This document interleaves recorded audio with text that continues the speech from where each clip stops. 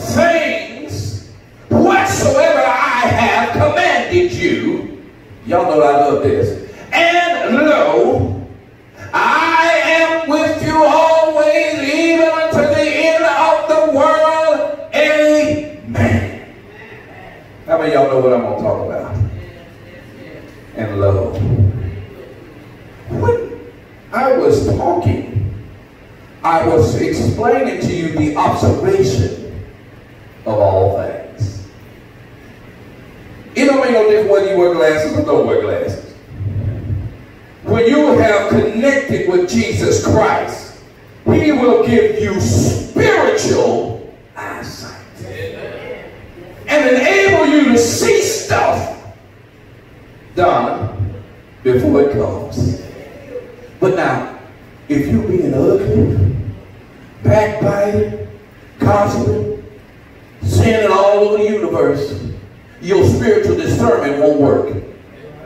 Because he cannot dwell in an unclean temple. Now, for anybody around, look to the left or the right or straight ahead, nobody looking at me. All of us sometimes have an unclean temple. But how many of you, Lord, clap your hands and say, Lord, I'm so glad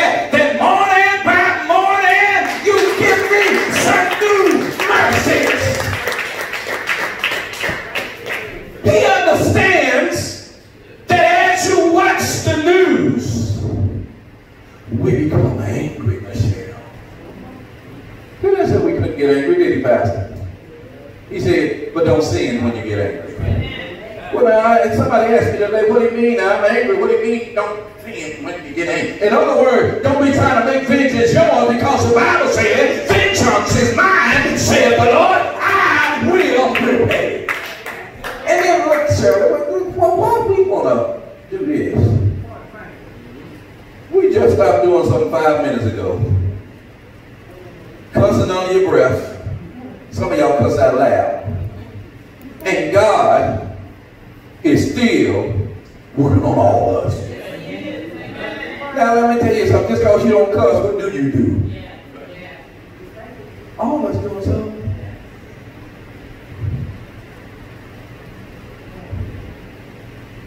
But if you look down the road, see, sometimes you can look that way, Brother Tom. But how many of y'all out there you can just turn around and look how far we have brought us from? It's easy, Tracy, for us to say what somebody else ain't doing. It is so easy for us to say, we've been sitting in church all these years. Us. Because ain't nobody sitting in here today perfect. I need somebody to wave their hand at me and say, I'm striving to reach my perfection. And how many y'all know Pastor's feeling? It is a struggle sometimes to do what God wants you to do. Because Paul said,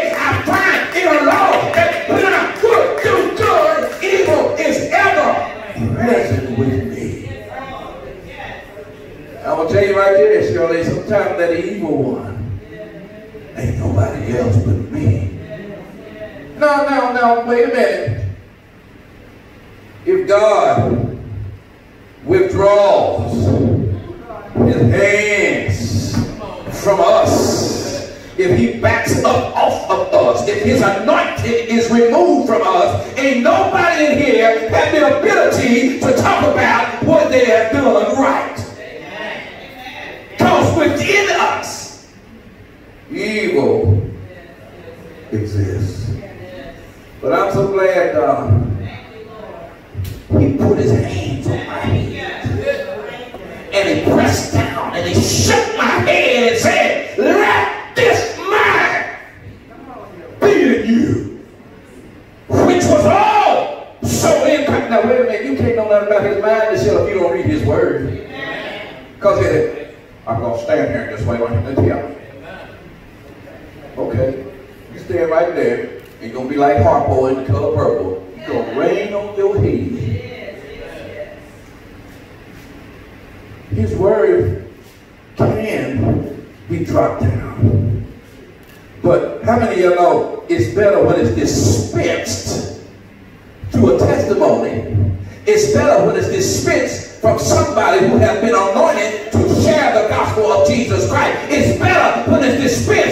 also better, Pastor Spielman, once you dispense it, that it is received and said, it is well with my soul.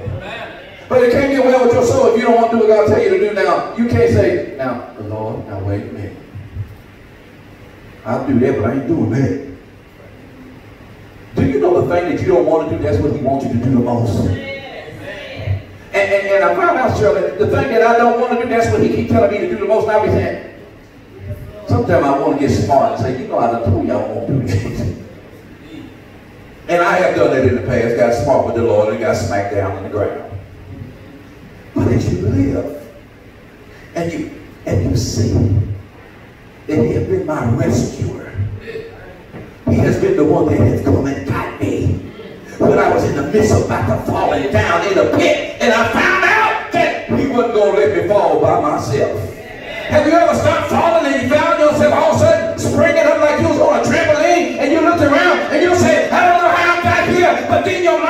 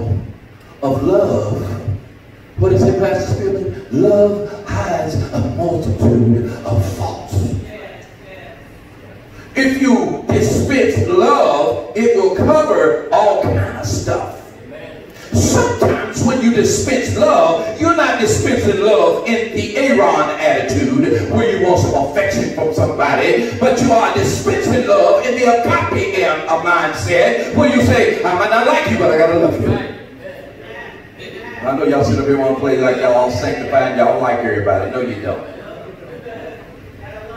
And then you have to understand, Phelon is a love of family.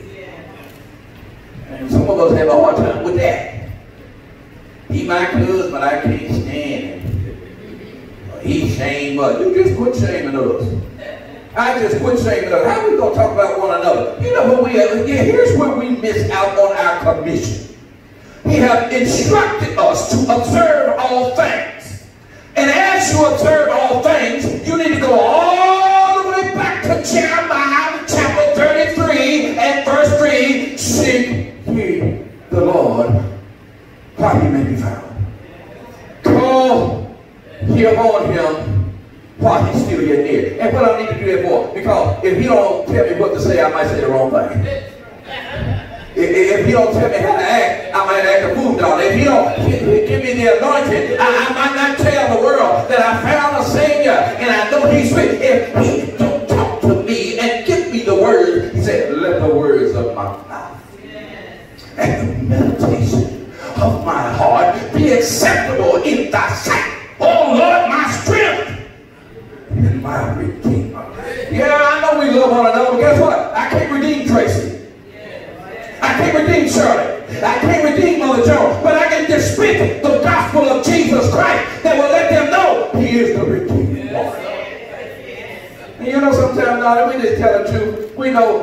he the redeeming up to us, we pick and choose who we will redeem. And I don't like the way I look. I ain't redeeming you nothing.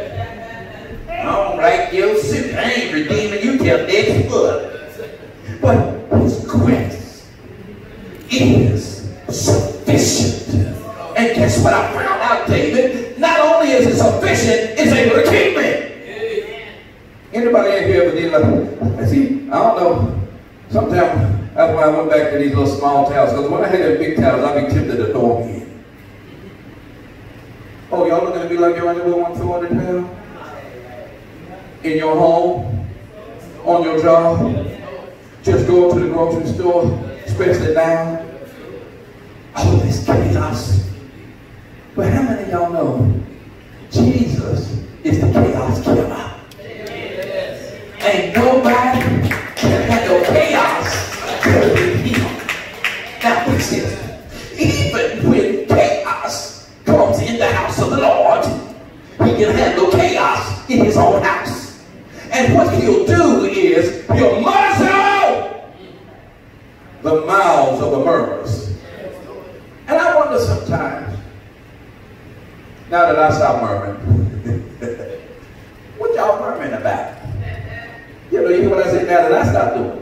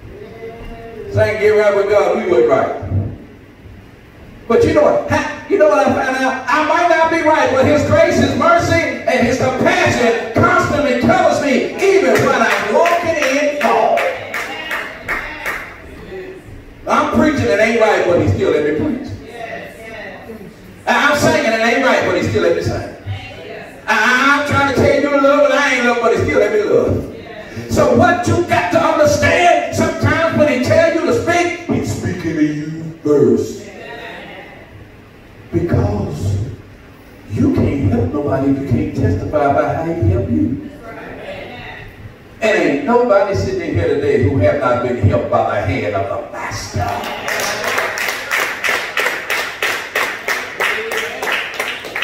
You got to go right there. And he walked with me and he talks with me and he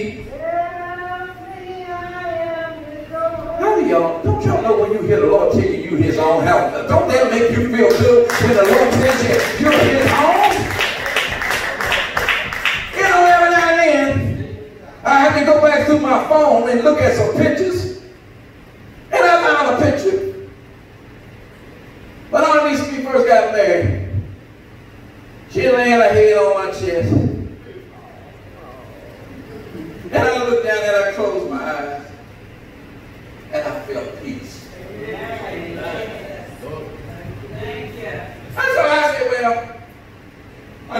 pictures. Lay your head on my shoulder. Let me tell you something. God bless you. You don't want to lose that juice. That makes you smile. And I'm telling you something. That's just like the church. The struggles for 12 years ain't been easy.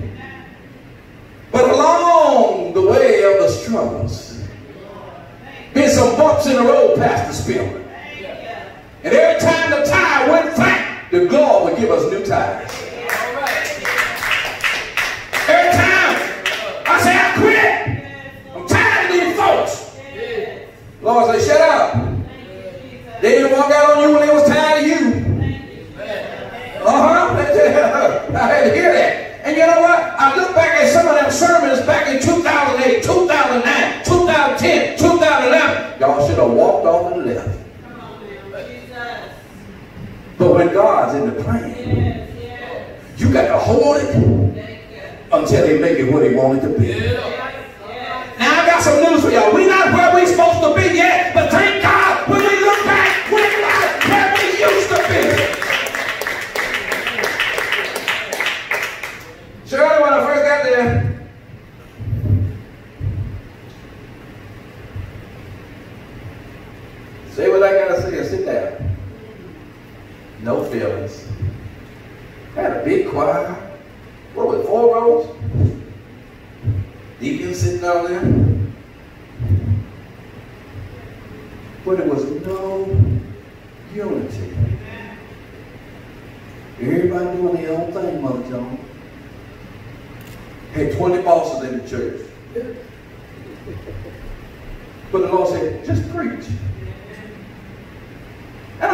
Pastor Spillman, looking back, he didn't want me to preach those shouting sermons, but to instruct and teach unity and love in the Word of God. And I stood up in August 2008, and the Lord gave me that slogan right there, where salvation is the focus, and love is the foundation.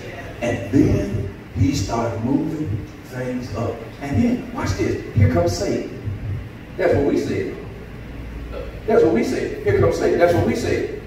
But I read a scripture in the Bible down where he said, he's going to let the wheat and the tare grow together. And then when he takes it's time, he'll start separating. See, I ain't got no green thumb like Shirley, but the Lord got a Holy Ghost green thumb. He know how to pull the right weeds out and make things what he wanted to be. I didn't know how to pull them out. I was trying to get along with everybody. But I found out, Brother Tom,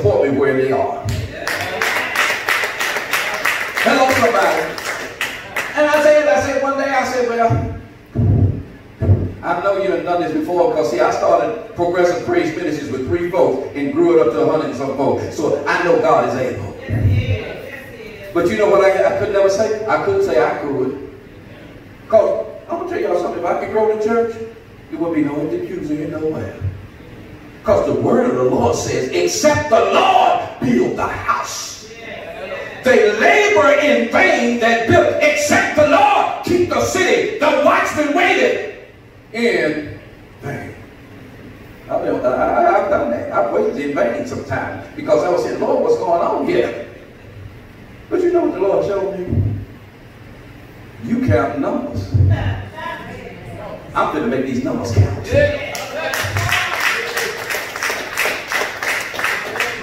Before Corona invaded the land, we were averaging 30, 35 a Sunday. Corona comes, some said, I ain't going. Y'all, that's your choice. I know y'all want to trust the science and all that, that's your choice.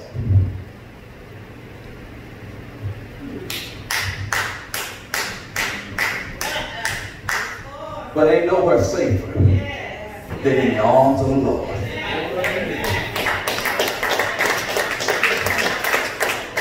Now, technology is fine.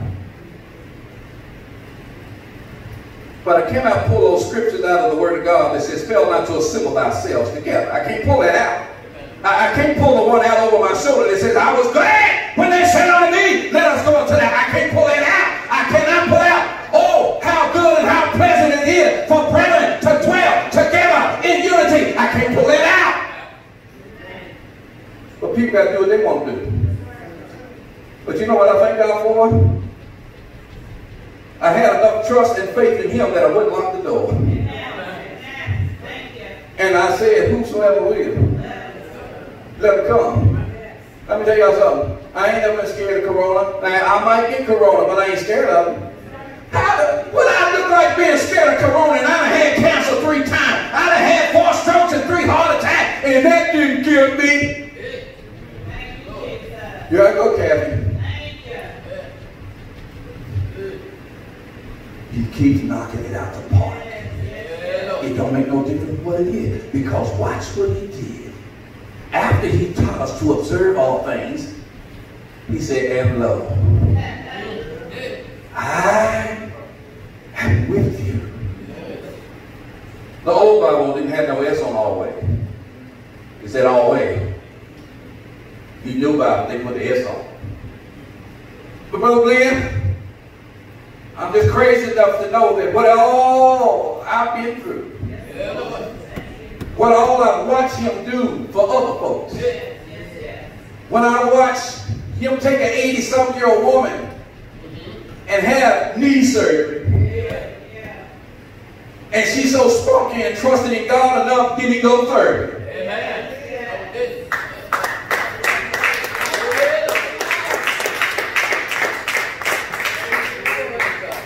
I watched Pastor Stillman up here trying to help me and our niece out one day. We were somewhere and had all this stuff coming from UPS. And we asked him to come up here and put it inside because folks were stealing stuff. And just what happened, he didn't come and we kept waiting and he kept waiting. I said, go on home. He was home five minutes and looked around, house on fire. That ain't nothing but God. Because you know what, man? If he would have stayed up here waiting, by the time he heard, it could have been worse than it was. But you know what I know? God will take tragedy and he'll make triumph come out of tragedy. I could have been burned up, but it didn't let me burn up. It didn't let my house burn down. It might have burned my kitchen. It might have burned somewhere, but it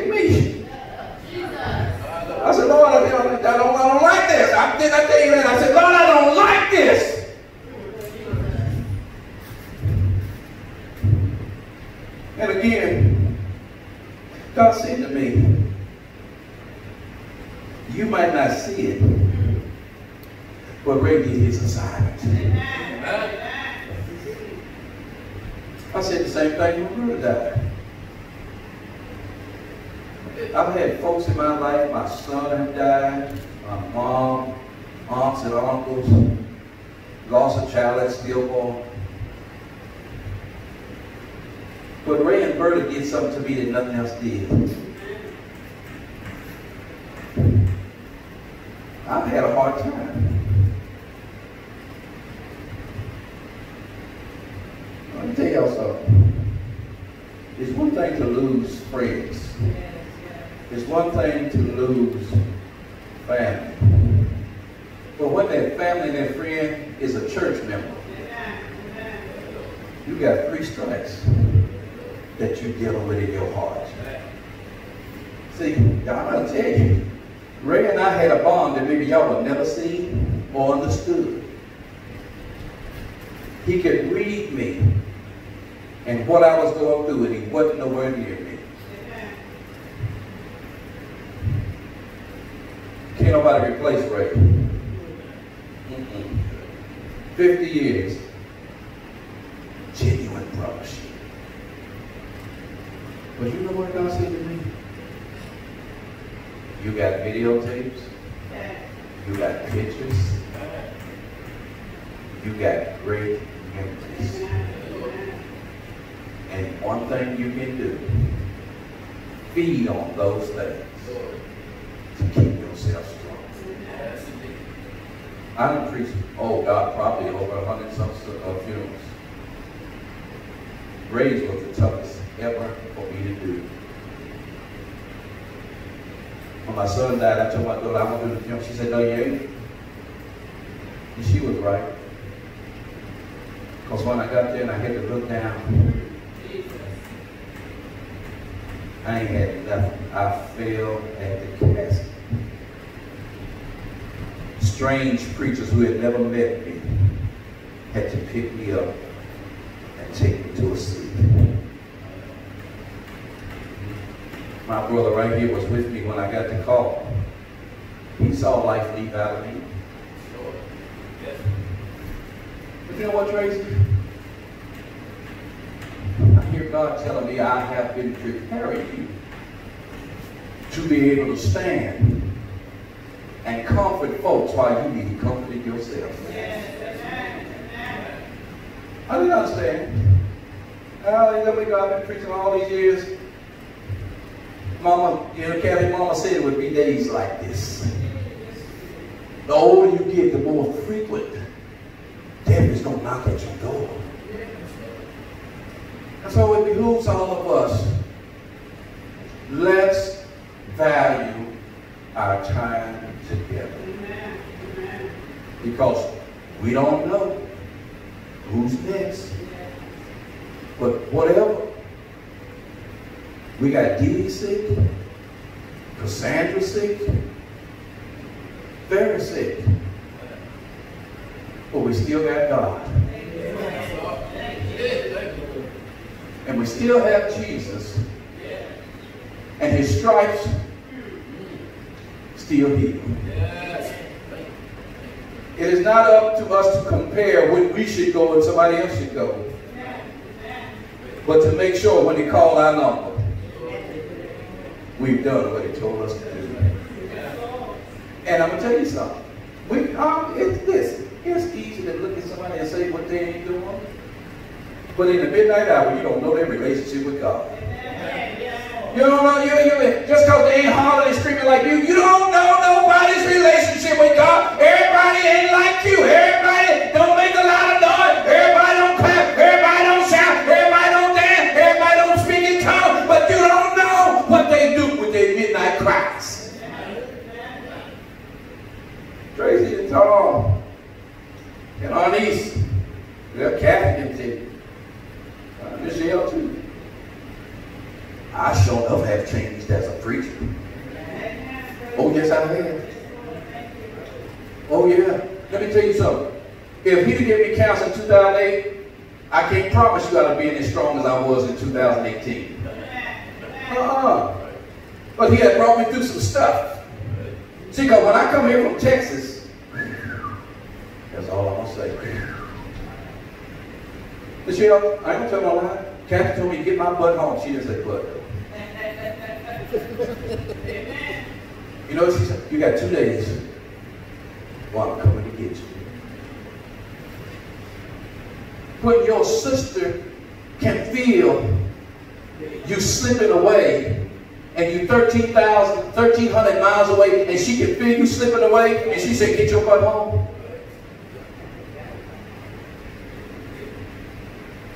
And I got here, David. Have anybody ever put a cracker in their hand and crumbled it up? That's the way I was. Donna been my sister since 72. Long time. Let me tell you something, she take a little bit too. Donna saw me. She grabbed me, she said, Uh-uh, we're not going to do this. I just walk with her because she hard. You know, we're not going to do this. You're going to cut that out. You're going to cut that out. You're going to cut that out. And I went in my mom's house. I went in that little bedroom and I crawled up in that bed and I didn't want to come out. Kathy called me. She said, look outside. I left Texas, it was 85 degrees. The next day, it was six inches of snow. And guess what? I didn't even have a coat. I ain't gonna go out there no way. But as I'm observing, one day I'm here. The next day I'm here. Y'all stay with me, I'm coming. But while I was here and here, God said, I'm here.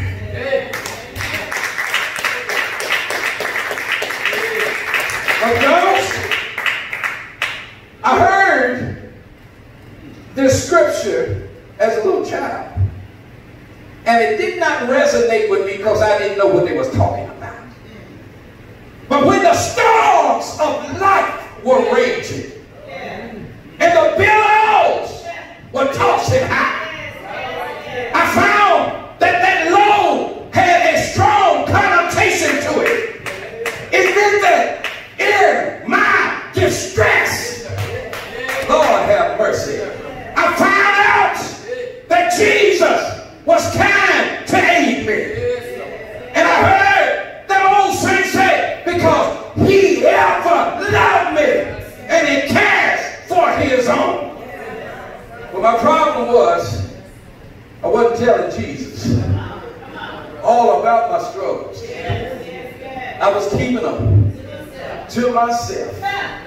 Because I had mindset, the thought that my money would make everything all right. But then I look around, I ain't had no money. I ain't have nothing. But what mama put in me as a little boy.